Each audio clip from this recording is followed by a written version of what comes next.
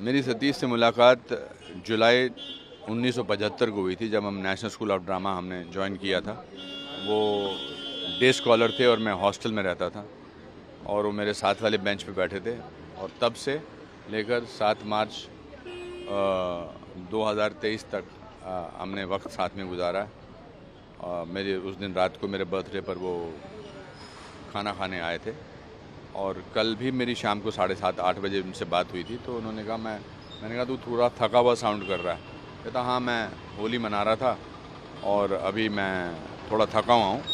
And रात को जब मेरे, मैं सोया हुआ था तो दो बजे करीब मेरे डोमेस्टिक हेल्प जो थे, वो आए और उन्होंने मुझे कहा कि, सतीश जी सतीश जी तो मैं सोया हुआ था तो मुझे लगा, सतीश जी मिलने आए हैं। तो मैंने कहा हाँ बिठाओ उनको सिटिंग रूम में बिठाओ। तो बोले कि, नहीं, वो है नहीं।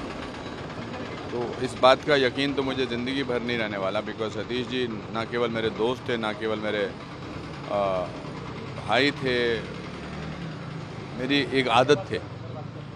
और आदत ऐसी थी कि छूटने वाली नहीं थी।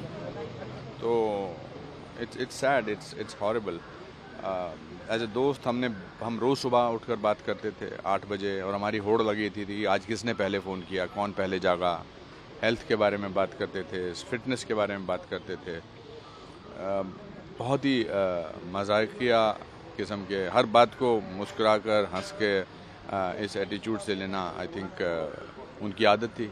ज़िंदगी कैसे ज़िंदा दिली से जी जा सकती है, वो कोई उनसे सीख सकता था। एंड ऐसे में उनका, इस कम उम्र में चले जाना, ये इसका इसका मलाल पूरी ज़िंदगी रहेगा।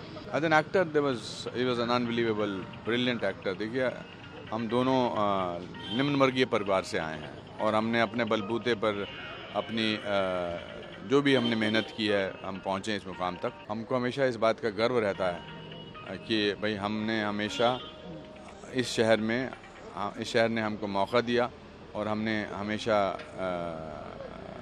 साथ निभाया है। बतौर एक्टर, बतौर क्रिएटिव पर्सन बतौर intellectual he was fantastic and he touched people's lifes I, I, I, it will be difficult for me to be deal with it, this loss. Uh, अभी तो फ़िलहाल क्योंकि it's an unexpected heart attack thing तो he will have to sort of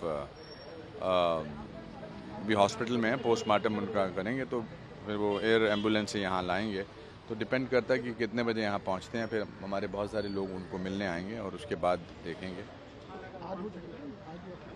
वो सब depend करता है कि पोस्टमार्टम कब ख़त्म होता है और कब उनको सर्टिफिकेट डेथ सर्टिफिकेट दिया जाता है। उनकी मेमोरीज़ पर मैं आपके साथ चार दिन इंटरव्यूज़ कर सकता हूँ। वो भी तब भी ख़त्म नहीं होगा, हम इंटरवल पॉइंट पे भी नहीं पहुँचेंगे। तो मेमोरीज़ तो अभी फ्लैश कर रही हैं दिमाग में, मुश्किल है बताना।